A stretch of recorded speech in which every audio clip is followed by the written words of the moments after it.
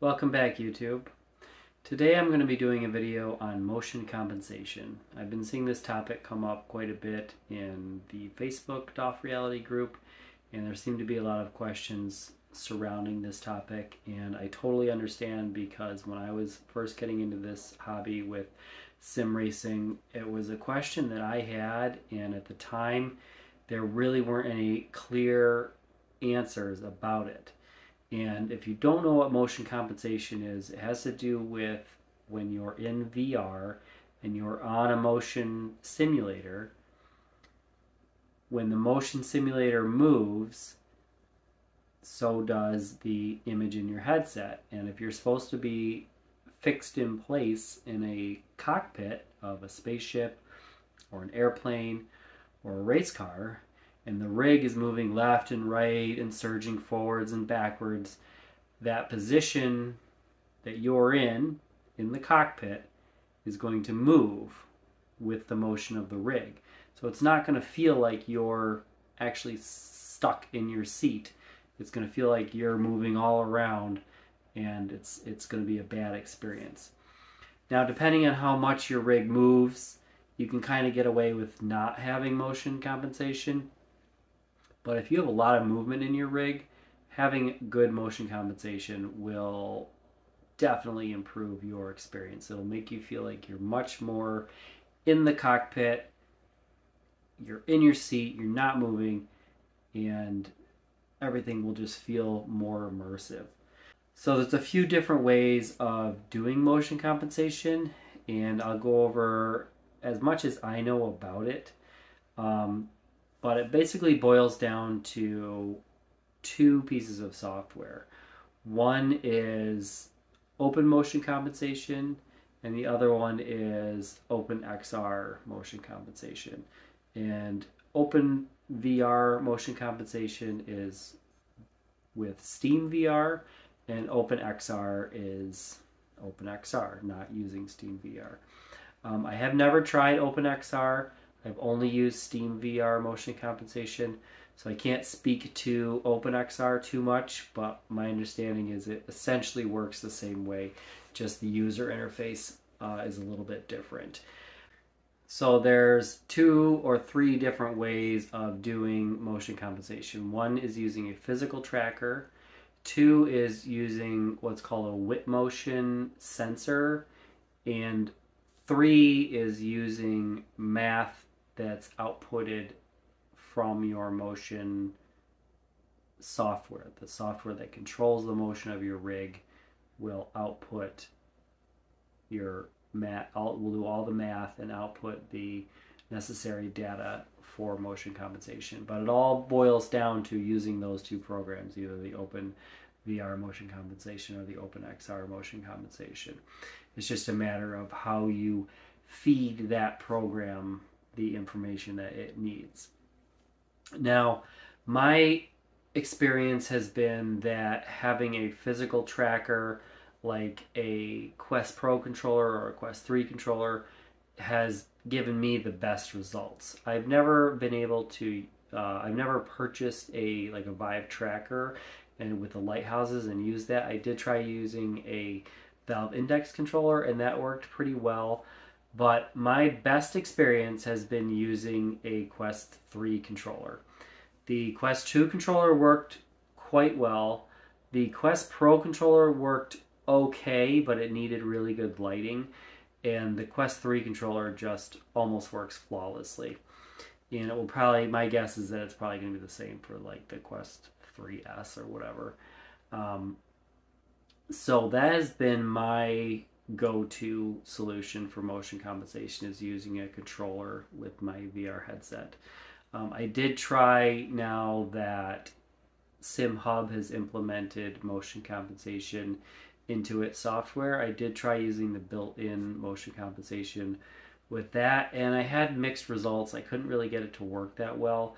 And I think it has to do with the speed at which the rig is moving and I don't know that the program knows exactly how fast the rig is moving. So it, it knows that, hey, it's sending the rig forward, but I don't know that it knows exactly how fast the rig is moving forward or how fast the rig is pitching left or right. So I got mixed results from that. I think you probably would have better results if you were on like a like a true actuator, like an AC motor actuator rig where it was super responsive.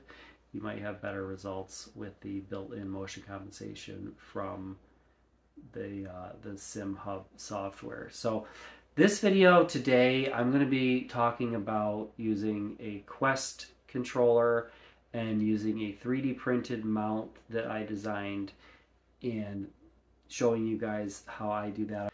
In the description of this video, I will share a link to my STL file for the 3D printed mount that I use for the Quest 3 controller. So I'm going to show you how to assemble that 3D printed piece and the difference between using a Quest 2 controller versus a Quest 3 controller. So I'm going to flip the camera around and I'll show you the mount, how that works, and then I'll show you the software inside the VR headset and what you need to do there. Okay, so these are the pieces that you will 3D print or have somebody 3D print for you. You have the main cup holder for the controller. This is for the right hand controller on the Quest. And then you have two little clamps and this bracket with sort of a groove in it. And if you're using a Quest 2 controller, this cup will fit that controller perfectly. But hopefully you're using a Quest 3 controller. And if we put a Quest 3 controller in it like this, it almost fits, but it's just not quite right, and it wants to kind of kind of pop out. It just doesn't quite sit down in there perfectly. So what we need to do is take a heat gun, and uh, we're going to warm this up and shape it to the to the controller. So this is just a small heat gun, which works great. And I'm just going to warm up the top of this piece until it just gets a little bit pliable.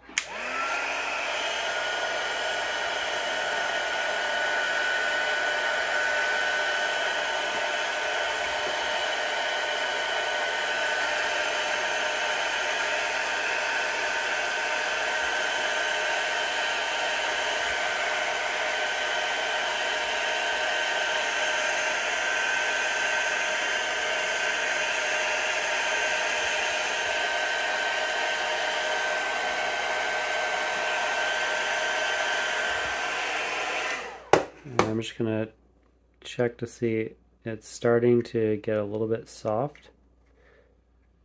Doesn't take a lot of heat. So I'm gonna warm it up just a little bit more.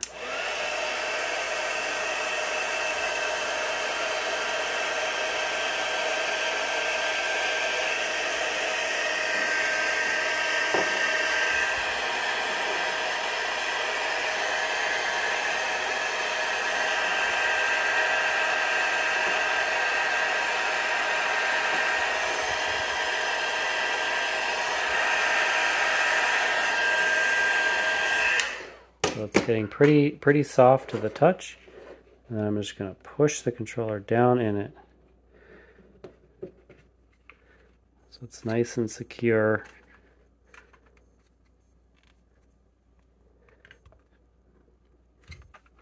Just kind of hold it there. And that will shape that cup perfectly to the controller.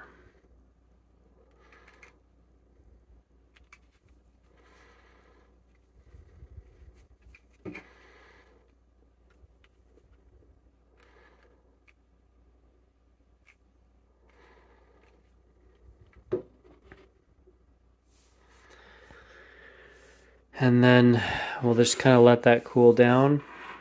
And while that's cooling down, the way that this is going to attach to your rig is on a three quarter inch piece of pipe. Now this piece of pipe is from like a shelving unit, so it has a threaded end, which is nice because you can run a quarter uh, quarter 20 inch bolt up through the bottom of it and mount it to your rig. Um, but it doesn't have to be something like this. It can be any piece of three quarter inch pipe. So copper pipe You could probably even use PEX, uh, PVC pipe, anything that's three quarters of an inch will work.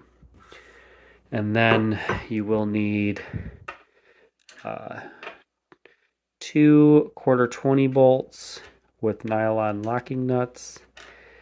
And you will also need two M5 nut or bolts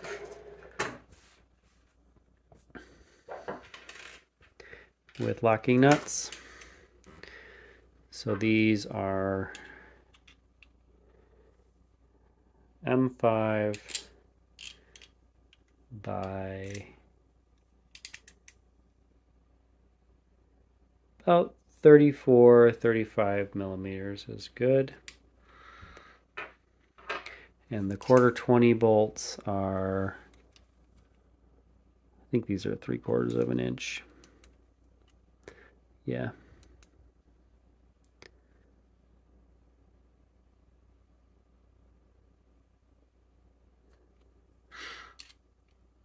Three quarter inch quarter 20s. Very standard hardware. Okay, then we're going to take this piece here. We're going to drop the two quarter 20 bolts in there. We're just going to kind of line them up with the hex that's in there, but we're not going to push them all the way down yet. And then that this piece will fit into the main cup holder like that. And then we're going to use our, or put our clamps on, and you'll notice that the hole on the clamp is closer to the bottom here so there's less of a space here than it is up here so where the hole is closer to the bottom that is going to be closer to this edge here. So then this is going to slip over this nut just like that, or that bolt just like that.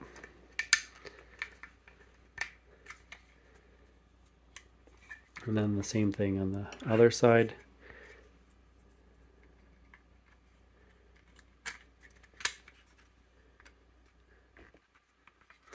And then once those are all lined up, you can go ahead and put your quarter 20 nylon locking nuts on and you can go ahead and tighten those down.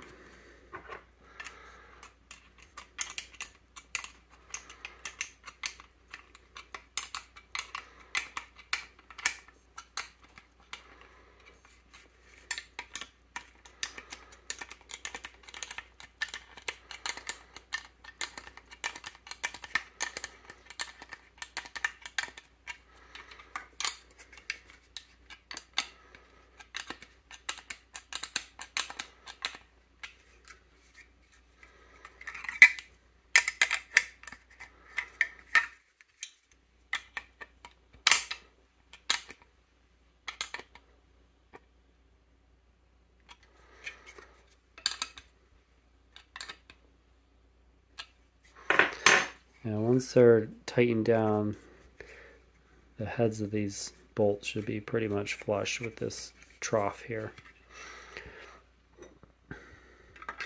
And then you can see how it'll slide over that rod like that. Then you'll just go ahead and put your M5 bolts through like this. With your nylon locking nuts on the other side.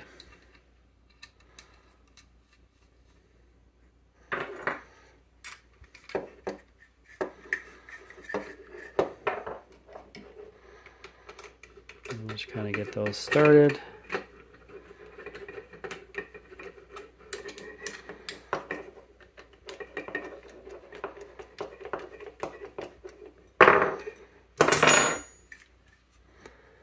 and then slide the rod through.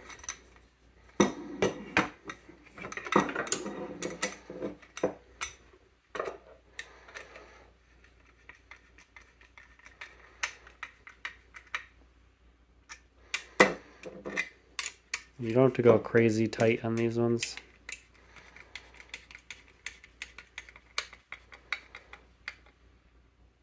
Kind of snug them down. And then that's held nice and secure.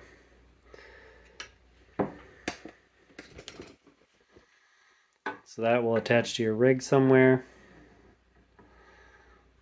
And then you just drop your controller in like that. And there you go.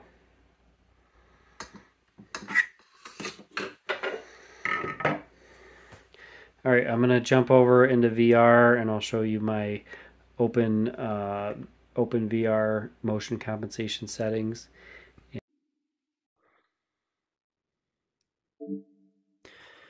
Okay, so now what we're going to do is we're going to open up uh, Steam VR. And I'm using uh, the virtual desktop app.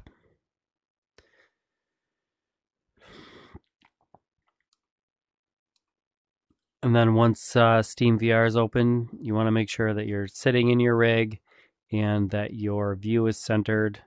So you can recenter your view in Steam by clicking this, then look straight ahead. Your view is recentered, and then you'll go ahead and you'll open up Open VR Motion Compensation, and you will go to Settings.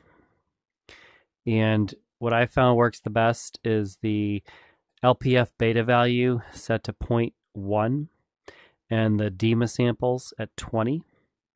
And then what you want to do is check this uh, velocity and acceleration to zero, check that. The offsets for virtual driver have nothing to do with this because you're not using a virtual driver, you're using a physical tracker.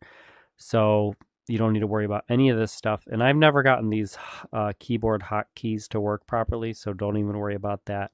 So you just want to um, worry about this stuff up here, this uh, the beta value, the DEMA samples, and the velocity and acceleration.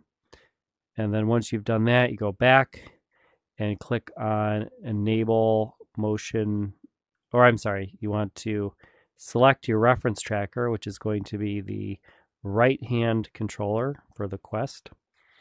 And then you'll take your right controller and you'll put it in the cup that we 3D printed.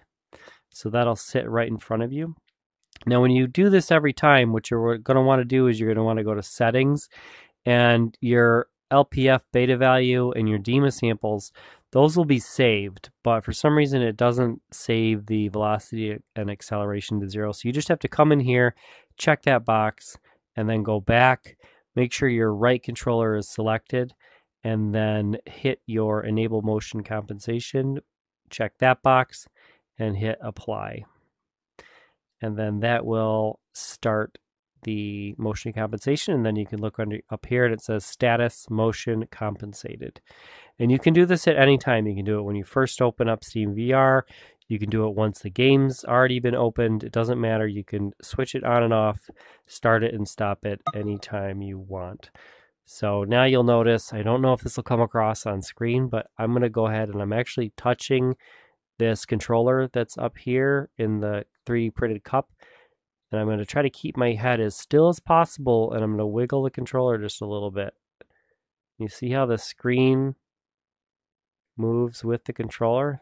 So you know it's working. And then you just launch your game and you are good to go.